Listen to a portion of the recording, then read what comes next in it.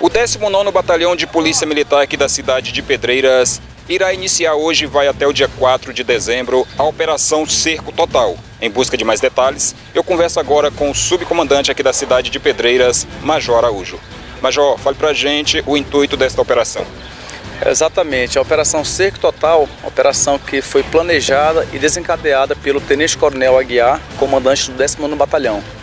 E que esta operação será comandada por mim, onde a área de atuação dela será mais precisamente nas cidades de Pedreiras e Três dela do Vale, onde serão desencadeados uma série de medidas preventivas e repreensivas no intuito de uma maior garantia de segurança à sociedade local. Essa operação ela irá acontecer nos dias 1 de dezembro, 2, 3 e 4, ou seja, de quinta a domingo. Durante esse período, é, várias equipes policiais, vários grupamentos aqui do 19º Batalhão estarão imbuídos no intuito dessa garantia da ordem pública, onde iremos priorizar blitz fixas, onde será cobrado documentação veicular, será cobrado é, a busca veicular, veicular no intuito de retirar das ruas ilícitos, tais como drogas, armas e etc. Também será feito abordagens tanto a bares, né, a estabelecimentos comerciais, como também a veículos é, pelas ruas. Ou seja, haverão barreiras policiais e haverão blitz móveis. Abordou o cidadão em movimento, pediu que ele parasse e aí fazer a abordagem policial. Por que o nome cerco total? Porque a PM irá disponibilizar de todos os seus grupamentos para nós agirmos de força total em determinadas áreas.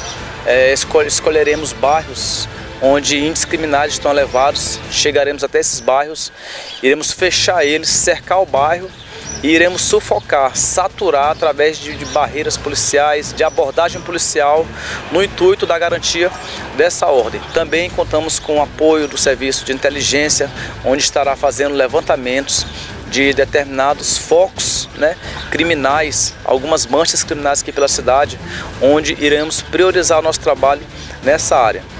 Major, a gente sabe quando se aproxima o final de ano, o movimento aumenta aqui na cidade de Pedreiras, tendo em vista que é o centro comercial aqui de 13 municípios. É importante esse tipo de ação?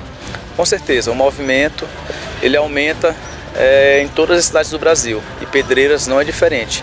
E como Pedreiras é uma cidade polo, com certeza essas cidades circunvizinhas aqui da região estarão se deslocando para cá. Essas pessoas estarão se deslocando para cá para fazer suas compras, né, visitar familiares e etc.